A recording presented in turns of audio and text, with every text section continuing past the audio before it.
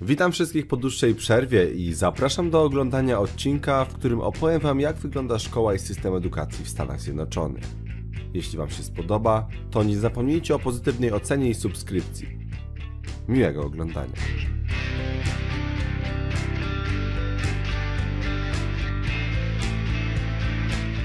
Zacznijmy od początku, czyli od przedszkoli, które istnieją tutaj tylko prywatnie. Zazwyczaj działają przy kościołach lub parafiach i są malutkie. 3-4 salki w całym przedszkolu, a lekcje trwają 3-4 godziny dziennie. Gdy dziecko jest już trochę starsze, to może zapisać się na Enrichment Program, czyli nic innego jak zajęcia dodatkowe, które odbywają się 3 razy w tygodniu i poszerzają wiedzę dziecka w konkretnych przedmiotach. IP razem z przedszkolem to koszt około 50 dolarów miesięcznie. 50 dolarów za 80 godzin miesięcznie w rozpadających się i niewyposażonych przedszkolach? Brzmi średnio, ale tak to wygląda, a Amerykanie nie mają wyjścia i płacić muszą.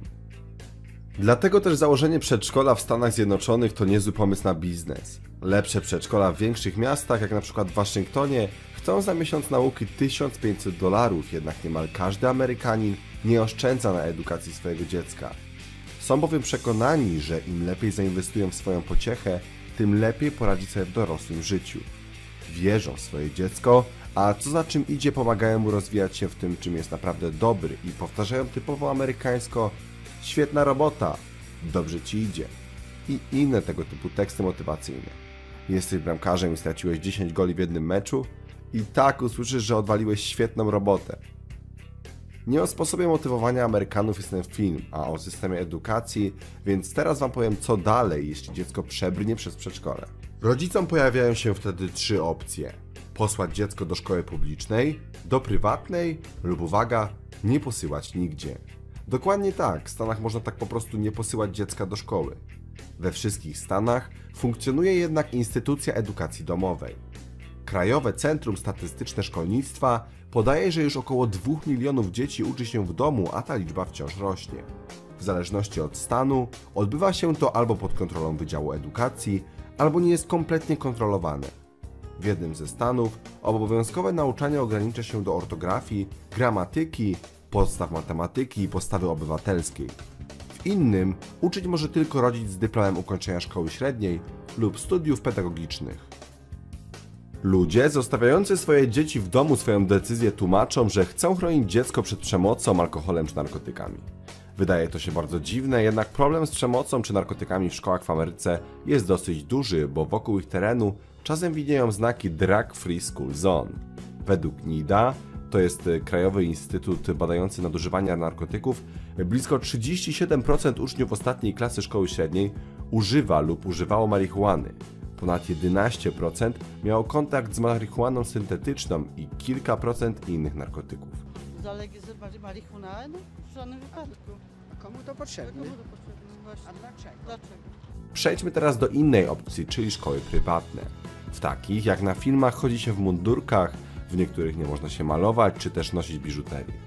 Ludzie często potrafią się przeprowadzać do innych miast, by dziecko chodziło właśnie do konkretnej ze szkół. W Stanach lekcje od poniedziałku do piątku trwają tyle samo. To znaczy, że przychodzi się na 8 i kończy o 15 zawsze.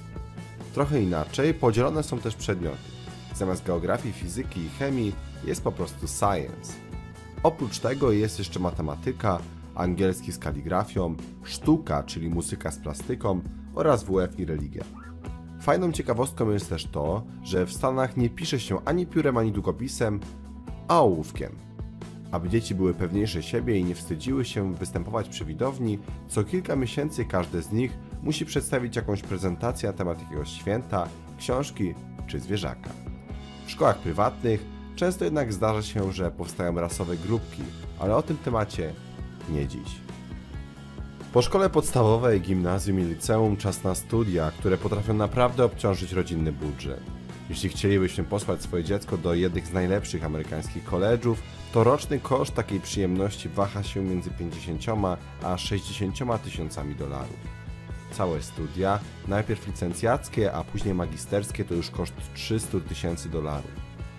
Nie zaskoczę, jeśli Wam powiem, że obecnie szkolny dług Amerykanów to niemal bilion dolarów. Niespłaconych kredytów studenckich ma 37 milionów Amerykanów. To bardzo smutne, bo po studiach o pracę w Ameryce bardzo ciężko, więc spłacić taki kredyt jeszcze ciężej. Powiem wam coś jeszcze ciekawszego, bo według statystyk z 2009 roku co siódmy Amerykanin jest analfabetą. Nie robicie, to subskrybujcie ten kanał. Możecie też podać mój film dalej i wbić na mojego Facebooka. No więc, ja jestem Daniel, trzymajcie się, no i cześć.